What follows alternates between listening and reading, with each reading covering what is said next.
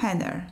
Now we are going to overview machine learning monitoring architectures. There are quite a lot of options you might use to build your monitoring system. I believe it's essential to start monitor your machine learning models as soon as you deploy them to production. Even if you lack some resources to build a solid monitoring system, you can still start from something. There are quite a lot of options for monitoring backend and for monitoring frontend as well, and today we are going to have a short overview of them. Let's start our discussion from the backend. Basically, here you have two main options. Either create the batch monitoring jobs and have a batch monitoring, or create the full online machine learning monitoring service. Both have its pros and cons. Let's discuss it in a little bit more details. When it comes to batch machine learning monitoring system, it might sound that it works well with the batchly deployed models, but doesn't really suit for machine learning models deployed in online. So let's dive in a little bit deeper. So what you need to do to build batch machine learning monitoring backend. Basically here you need to create a pipeline where you have a step for metric calculations and you need to schedule this job right? So the idea is that you have some cadence, for example, run this monitoring job every 10 seconds or every minute or maybe hourly, or you can run this monitoring jobs on a trigger. For example, as soon as new batch of data arrived or as soon as you got new batch of labeled data. It works very well with batchly deployed model because basically if your production model is implemented as the, for example, Airflow uh, batch DAG then you can just add one more step or a couple more steps, uh, which are tasks in the DAG and those tasks should be dedicated for monitoring metrics calculation. That's quite straightforward. There are quite a lot of metrics which supposed to be calculated in a batch way. For example, data drift calculation, which assumes the comparison between the distribution of the same features from reference and current dataset. In this case, even if you have your machine learning model deployed as an online service, you still want to have your monitoring, at least for those specific metric, drift, implemented as the batch. And actually, it's more or less works fine for all the other metrics. Even if you have your machine learning model deployed as an online service, you can still implement monitoring in a batch way. In this case, you need to create a pipeline with metrics calculation and read the data, for example, from logs, or a database where you store all the data your service received and all the outputs and maybe labels. So in this case, you just decide on a cadence and run your monitoring pipeline. The alternative to this approach is near real time or real time or streaming machine learning monitoring. In this case, you basically change the way how you integrate the monitoring with your machine learning service. So the idea is to send your data directly from the machine learning service to the monitoring system, calculate metrics on the fly, and then store it somewhere, for example, in time series based database, and then show them in your online dashboard. So this works pretty well, especially if you have the set of metrics which you can calculate in real time or near real time, again, milliseconds, maybe seconds, and it works very well with the online dashboarding interface. It makes a lot of sense if you have online machine learning model and want to build real-time or near real-time monitoring. We are going to discuss batch and near real-time monitoring approach in a minute, but before I want to add a small note. Even if you do not have enough resources to build either batch or near real-time monitoring, you still can do something.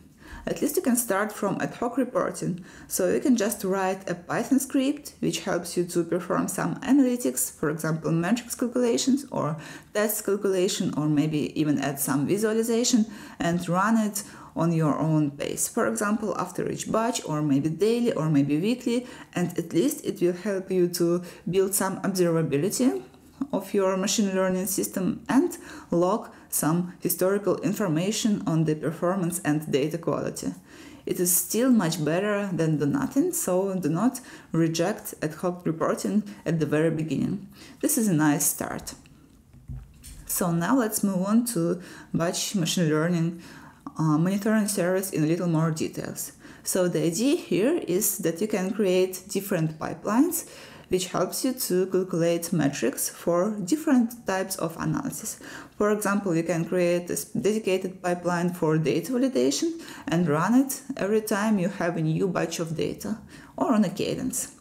Then, after you calculated all these metrics, you need to log it to the metrics and test results database or object store, and then you can connect your dashboarding system to this data store storage and implement any dashboard you like. Together with data validation pipelines, you can create some more, for example, pipelines related to the model's output checks or maybe model's quality metrics and also log all this data to your metrics and test result storage. You can do it in an asynchronous way. So, I mean, you might log the data related to different pipelines asynchronously and then implement and add more panels to your dashboard. The alternative scenario is to have the online machine learning monitoring system. In this case, what you want to do is to send your data to the monitoring system directly. For example, as soon as you received some requests to your machine learning model service and the model generated some output, you could send this data. You can do it by request or you can accumulate several requests and send small batches or mini batches to the machine learning monitoring service. Here you need to have the implementation of metrics calculations and then you need to still store this data somewhere. In this case, you would rather want to use some time series database, for example, like Prometheus or maybe ClickHouse or any other database you use uh, for monitoring, and then connect your dashboarding system to this monitoring. So the this part of monitoring system stays more or less the same. And here again, in your dashboarding system, you need to add, you need to create a dashboard, so you need to add all the panels you like, depending on what you just log to your database, and you will be able to observe all the metrics in your dashboard. When it comes to front end, you still have some options because in both examples uh, with batch and our new real-time backend, I expected that you need to have some dashboarding system, but this is actually also quite optional. You might even have no UI at all, so your monitoring system might just limit itself by logging data somewhere to database and send you some alert. You might have one-off reports instead of online dashboards, and of course you might have live dashboard. So let's explore all these options. If you don't really need a user interface or you do not have resources to build one, you might start from just logging your metrics to some database. It will already be very useful because you still can create some alerts on top of those logged data and you will start to log historical data so that later you might be able to visualize it, analyze it, use it for retraining and many types of uh, analysis, right? So that's already very, very useful.